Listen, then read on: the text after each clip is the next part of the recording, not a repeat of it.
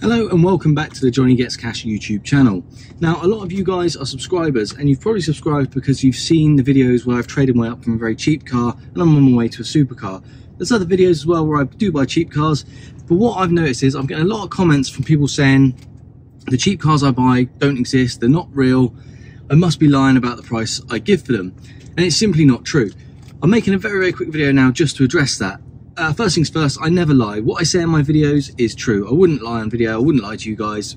There's nothing in it for me. What, what's the point of me lying? So basically what I want to do today is show you a car that I've just bought that I normally wouldn't even bother making a video on. But because I know there's quite a few people who don't either believe or don't understand how or why I give such a small amount for certain cars, I'm actually going to do a, a quick video on this one just to show you it does exist uh, and how I come to find these cars and basically just to prove that uh, I am what I say I am. So, a lot of the controversy comes from the beginning of my Chop to the Top series where I bought a Toyota RAV4 for £150. Now, a lot of people don't believe that's true because that's less than scrap value. Okay, on the surface, I totally agree. That does seem a little bit off. Why would someone sell a car for less than they could get from the scrap man? Great question.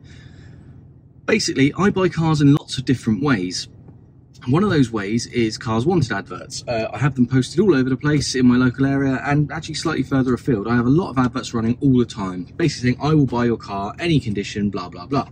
I get a lot of calls. Now, a lot of cars I don't buy, sometimes because we can't come to an agreement on the price, sometimes a car isn't what I'm after, sometimes it's purely not what it's described as being, or it's way too far gone for me to try and put effort into and sell.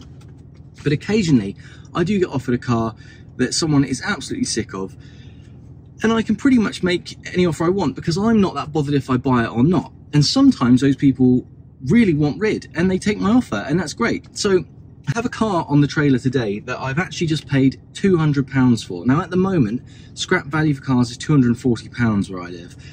When this guy contacted me and said what the car was, the situation, I said, look, I don't really want it. If you want rid today, I'll come with my trailer, I'll get it, it'll be £200 and he took it. So the story is this.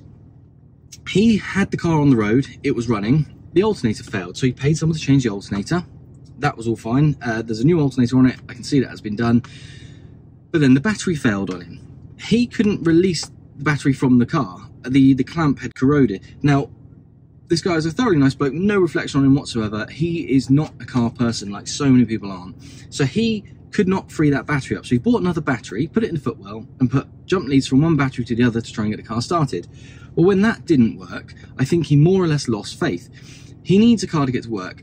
Absolutely fair enough. So he went and bought another car and thought, right, I'll deal with this one down the line. Well, street parking only where he lived, he's paying two lots of tax to keep this car on the road.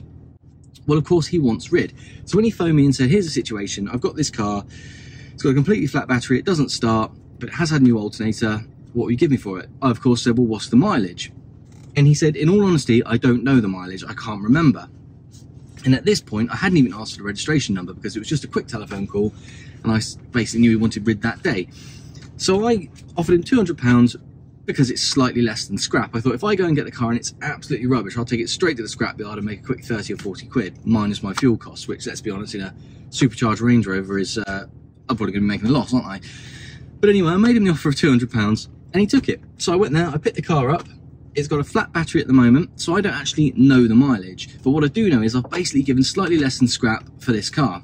Now on first inspection, I actually don't think it's a bad car. I think I could make some money on this one. So we'll jump out and I'll show you around the car while it's on the trailer. And then we'll see about getting it going. And uh, because it's a digital dash, when I fire it up or get some energy into the battery, we'll find out what the mileage is. And we'll find out if I've done well or if I'm going to have a run to the scrapyard. So without further ado, let's go and have a look at what I've got.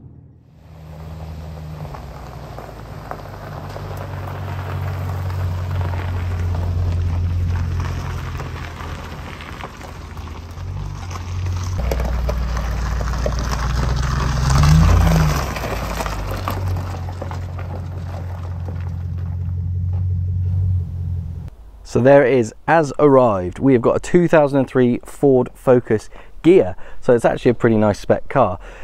As I said to you just now, it's arrived completely with a flat battery. It's got a digital dash, so I don't know the mileage. I didn't know the reg until I picked it up. However, I've got the reg here, so I could easily do an online check and see what the last MOT mileage was. But what's the fun in that? I think what we'll do is put some power into that battery, and we'll have a look at the dash and we'll see what the mileage is. It's a 2003 car, so it's 20 years old. Let's be honest, 20 years, average mileage, 12,000 a year. It's going to be a high mileage one. However, I have given just 200 pounds for this car, and apart from being a bit dirty, I really don't think it's that bad. If I show you inside, yeah, it's a bit dirty, it's a bit mouldy in a place or two. It's been sitting for a while. You'll see if I turn ignition on, let's get you around here, there is nothing. It's completely flat. So we will deal with that in a minute. But really, you can see I've got the V5 for it there. It's really not a bad car. And for 200 pounds, I'm actually really pleased with it. So the point I'm trying to get across in this video is I buy all sorts of stuff, some better than others, and sometimes I buy things that people just want rid of and they want them gone fast. So I can get away with offering basically scrap value for stuff. Sometimes that works in my favour, sometimes I lose out when I do that. However, it's all part of being in the trade. I'm not stressed about it. I really just wanted to show in this video a car that I normally wouldn't talk about, I wouldn't even bring to the channel.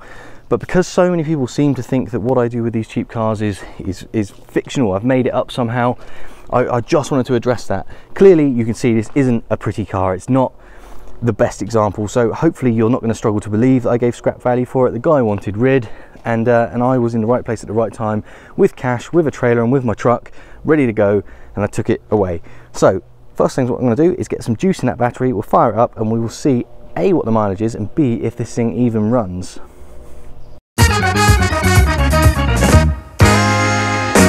Okay guys, I'm actually in the Focus now. I've just got some power to that battery and um, I'm smiling a bit because I can't believe my luck to be honest and I'm sure this isn't the way this video should have gone because I was trying to prove that what I do is, is honest and I'm sure you're just not going to believe me when I show you the mileage of this car. Um, the guy honestly said he didn't know the mileage so I was thinking he was hiding that it was going to be you know astronomical like 200 plus thousand miles.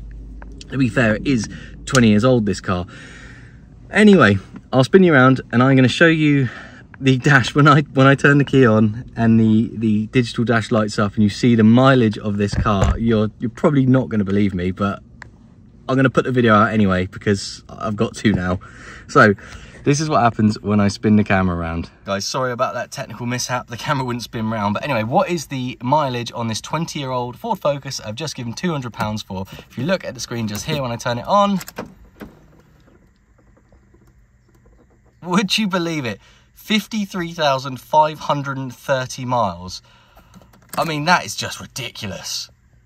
As I said just now, I'm sure that a lot of you uh, in the comments are going to be going wild and say that there's no way you've given that for a, a 50,000 mile car. Honestly, I didn't know.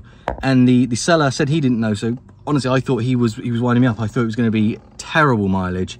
Um, obviously now I've got the car, I've got the plate, I will do um, an MOT check to make sure it all stacks up and it hasn't been modified in any way. Hi, Johnny from the future here. Spoiler alert, that mileage isn't all it's cracked up to be, but more on that at the end of the video. But here we are with a 20 year old Focus Ghia with 53,000 miles on it. I'm just giving 200 pounds, which is just under scrap value for it. So I'm actually feeling really positive about this one. I think I am going to clean this one up, give it a full service, go through it entirely, make sure it's really, really as good as it can be put a fresh MOT on it and it will make a nice cheap car for someone.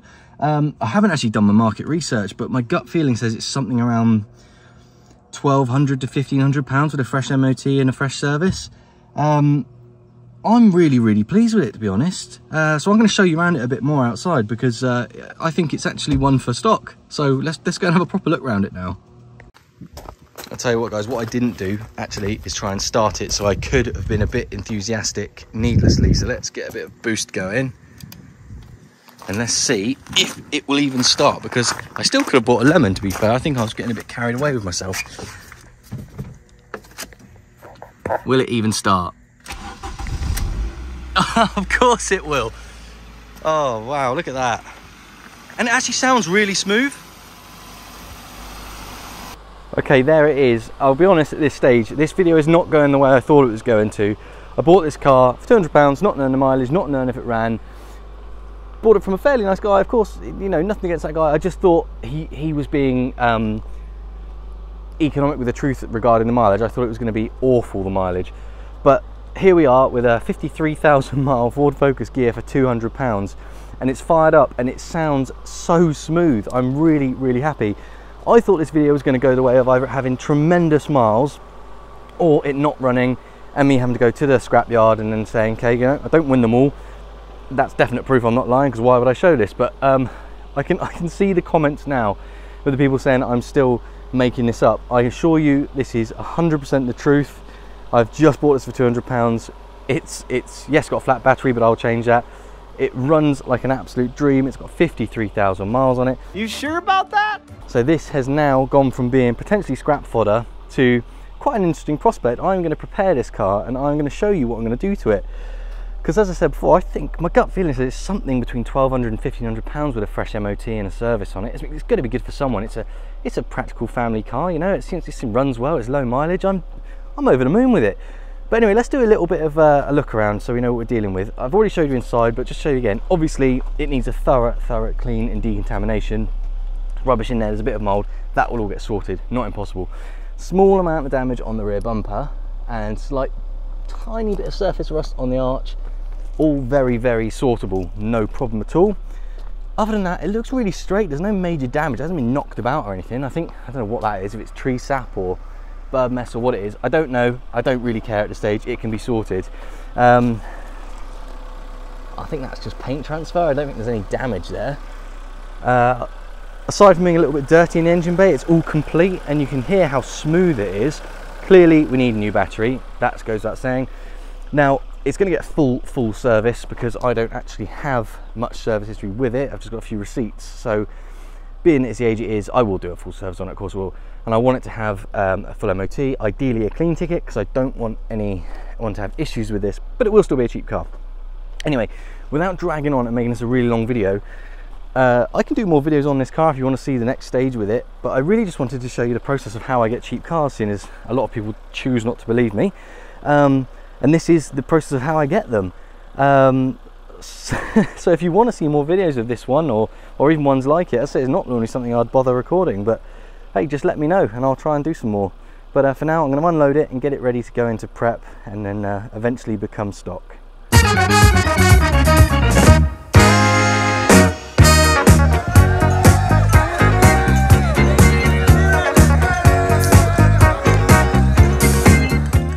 So I did go and do a mileage check on the Focus and I found out something quite interesting.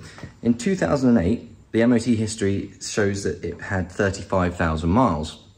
But by the next MOT in 2009, the odometer was showing 3,000 miles. So what I think has actually happened here is they've changed the binnacle on the car. Uh, the engine looks to be original, seems to be the original engine, so I don't think that's been changed or anything like that. What I think has happened is in 2008, they had the MOT done, and sometime between the 2008 MOT and the 2009 MOT, the binnacle was changed. So let's assume a brand new zero miles binnacle was put in some point there. That means in 2008 with 35,000 miles, and the current odometer showing 53,000 miles, the car has done a total of 88,000 miles. Now, what does that mean for me? Well, this is all provable through the online MOT database. So when I eventually get the car prepped and I sell it, I will advertise it as an 88,000 mile car. However, I will explain to the buyer why the odometer doesn't show 88,000 miles, but I'll also explain how you can, you can check the mileage back through the MOT history. So here we are with an 88,000 mile focus, not a 53,000 mile focus. Well, I'm still very, very pleased with it for 200 pounds, I have to say. It's a cheap car and I think it is gonna be a good car for someone, I really do.